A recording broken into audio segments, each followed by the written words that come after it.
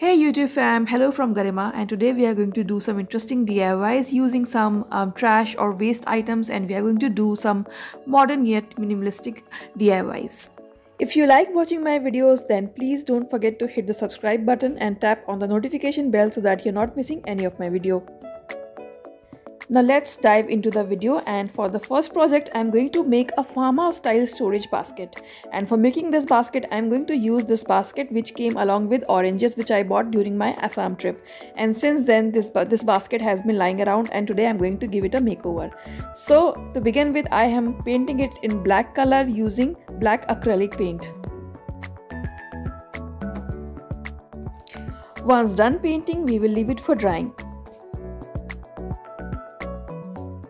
Now in order to give a farmhouse look to this basket, I'm going to add some burlap cloth as a inner covering of the basket and for that I've taken a rectangle piece of cloth and I am sticking the uh, edges so that we get a round shape and for sticking I'm using a heavy uh, glue. You can even use a glue gun for sticking this fabric. Now for the lower section, I'm uh, going to wrap it just like we wrap a gift paper and then I will glue it using the same glue which we have used previously. Make sure you have added a lot of glue so that burlap is not shredding and once the cloth dries then we have to simply insert this uh, burlap covering inside the basket for that clean farmhouse look.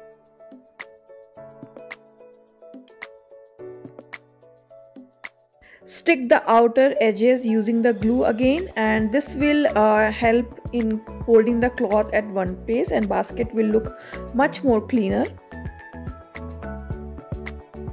And for the finishing touches i'm going to add this burlap uh, roll which i got from itsybitsy.com i will share the link in the description box. This will give a much needed cleaner look to our basket and then we are done And just like that, our waste basket has turned into this cool farmhouse style storage basket. You can use it for organizing your kitchen, your almirah, you can store your craft supplies, anything you like and it will look cool anywhere. Now moving on to our second project, we are going to make a tabletop planter using this terracotta bowl. I got this bowl during Diwali last year for some puja and since then it has been lying around so first I am going to uh, make a hole so that we get a water drainage for our plant. Now in order to make three legs for this planter, I am going to add these wooden beads. It will give it the much needed height and the three legged look as well. And for sticking this, I am going to use a synthetic glue. You can use any uh, good glue because plant and soil will have some weight. So you make sure you are using a good glue.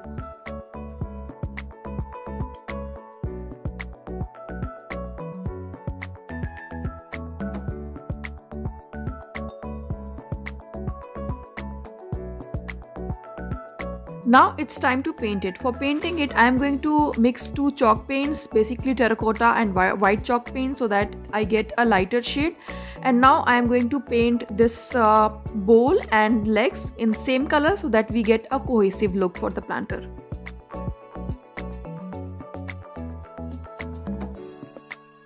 I am using a golden paint for uh, painting the rim of the planter for, for that elegant look. So I wanted to have a speckled look on this planter. So basically I'm going to spray some black and white color using a toothbrush and just like that you are done.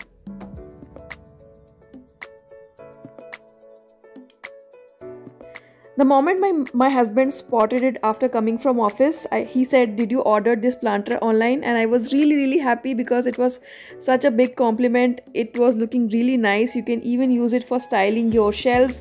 It will look anywhere very good and you can color it in different colors, whatever you like.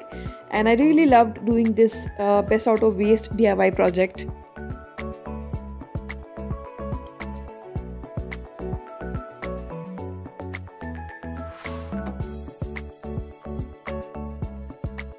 Jumping into the third project. For third project we are going to make a cushion cover.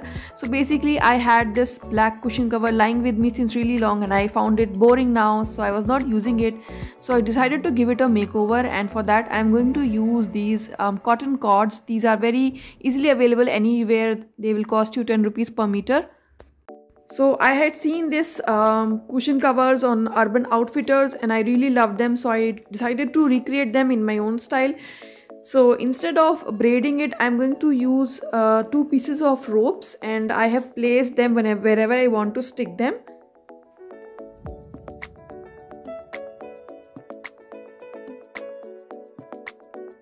and now I am going to stick them using a glue gun. Usually I don't like using glue guns on cushion covers because I have to wash them frequently.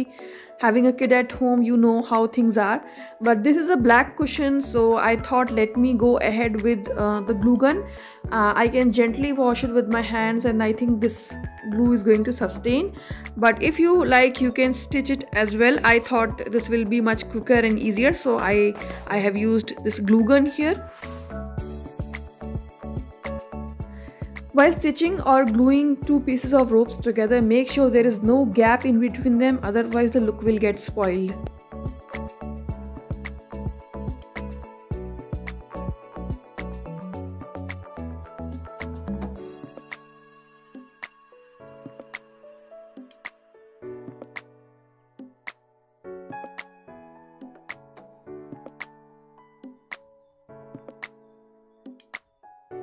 We will tie a cotton thread at all the edges so that they are not shedding. Now we will simply unravel the ropes and brush them.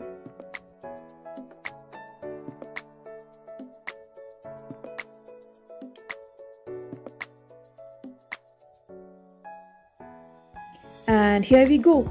Our very own Urban Outfitter inspired cushion cover is ready in a very small budget we have used our old cushion cover here gave a new life to it and i'm really loving it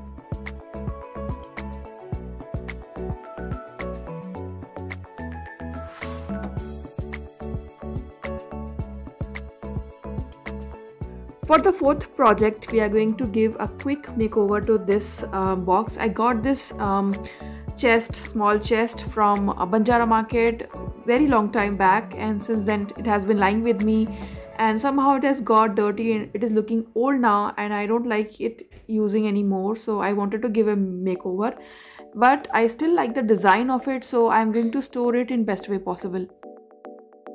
So I'll start with uh, cleaning it. I'll spray some water and I will gently clean it. Basically, I want to keep the embossing, the design which you can see on the side panels and on the top. Um, so I'll be painting it in white chalk paint. So when we will paint it in white, you will still see the design. It will look like a self pattern and it will look very elegant and minimalistic.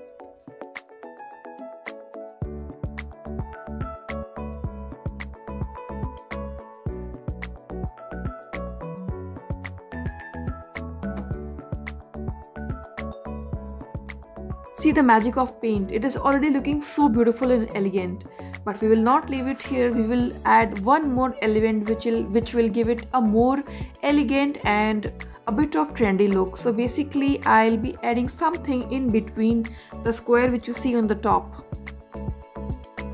So basically I'm going to add a piece of um, square bamboo mesh on the top of this um, chest uh, so these days rattan and cane is so much in trend these days and such boxes cost a lot. So i'm going to use this mesh lying over from my cabinet shoe cabinet makeover. And i have cut out a piece and now i'm going to stick it using a, a glue a synthetic glue i'm using. You can use any wood glue or any strong glue which can easily hold this uh, mesh on the top of this box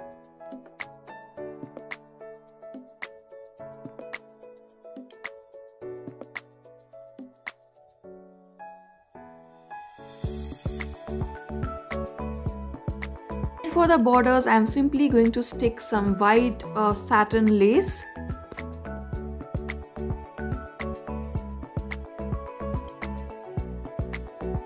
Once done sticking the borders, I am simply going to paint the knob in golden metallic color. It will go with our overall theme and it will give that elegant touch to this box.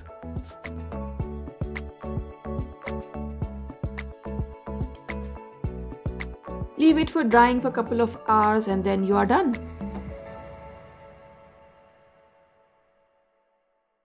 I love how that old uh, loud chest has now um, transformed into this beautiful minimalistic box. I can use it for storing keys on my entryway or maybe for uh, st storing my rings and earrings.